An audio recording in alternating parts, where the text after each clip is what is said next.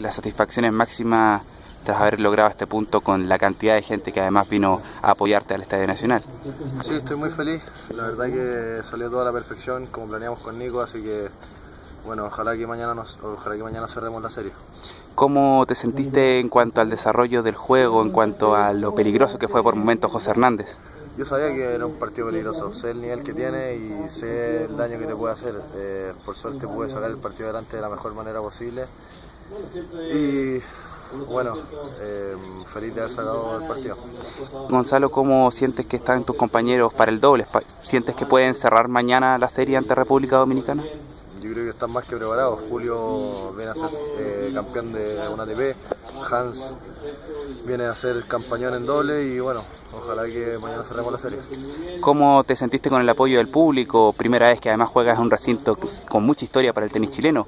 Se jugó una final de Copa Davis, mal que mal acá. Sí, bueno, eh, es una olla. La verdad que el público se siente mucho más que en cualquier otro lado que, que había jugado, así que mm, muy feliz de, del público.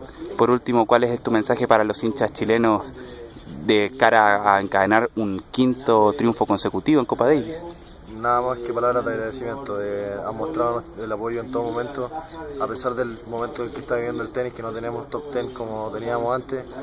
Eh, el público siempre ha sido optimista y nos ha apoyado en todo momento. Muchas gracias, Gonzalo. Muchas gracias.